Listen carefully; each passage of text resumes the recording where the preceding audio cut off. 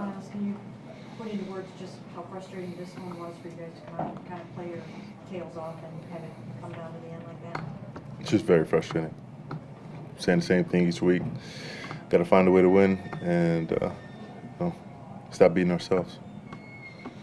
I know you probably have to look at the film and everything, but it seemed like across the board, the defensive, the defensive line really maybe played its best game in terms of maintaining, you know, doing what they had to do against a, you know, an offense and a player like Lamar who can, you know, take advantage of so many of of the littlest mistakes.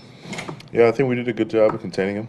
You know, trying to keep them away from throwing the ball really, and uh, you know they, they kind of went away from it, and, and we did a good job really slowing down their the running game, keeping the their averages, you know, pretty low, especially for them.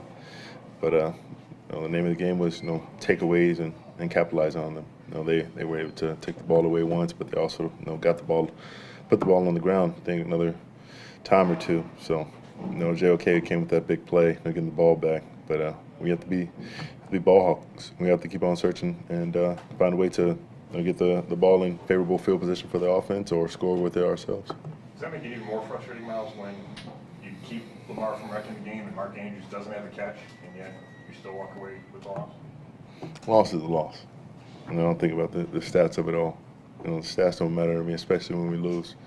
So, you know, the film's not going to lie. It's going to tell us what, what we need to work on, what we need to improve, and, and how we could have made a difference in that game, and how we could have kept them to, you know, a couple, couple more points off the board.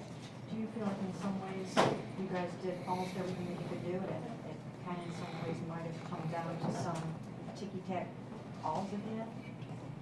I mean, for the ticky tack calls, there are always plays that you know make the difference in the game. You don't know when they come.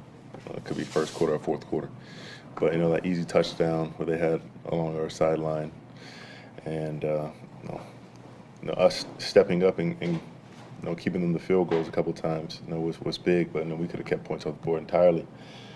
Not entirely certain about that because they have probably the best kicker in the game right now, but yeah, I mean we stood up a good good amount of times, but you know we could have could have made some stops, you know, down the line that could have changed the game a little bit more. Even though we, we, we did a good job uh, as far as overall. Uh, we heard, while were sitting here, we heard a lot of yelling and screaming going on in there. Uh, is that, you know, what was, what was that all about, or what can you tell us? You've never been in a football locker room? Well, I do hear a lot through the year. I mean, I hear a lot too. I think it's just a lot of guys who are passionate about winning, passionate about the game, and you know, you know, they're gonna they're gonna voice their opinions. And you know, sometimes it spills out where people from the outside can't hear, but you know, nobody's more more worse for wear. I think everybody just you know is very intent on winning and, and fixing you know, what we have going wrong. Were you, were you doing the yelling? Uh, I don't know. Myles, a couple years in a row that you guys have done all right. I, I know you're not spilling company secrets, but do you feel like you guys have maybe found something that helps contain that guy? you know, we didn't win. So didn't contain him well enough. He's, you know, last two times in this in this house, you know, he's you know, thrown four picks, and you know, he's we've held him pretty, you know, low as far as you know yardage and, and touchdowns. But you know, he's, he still found a, a, a way to you know, come out with the win. So, you know, we, have you know something that's going well for us, but you know, it's, it's not complete yet. We got to keep on, you know, working to, to cap these off and get a win.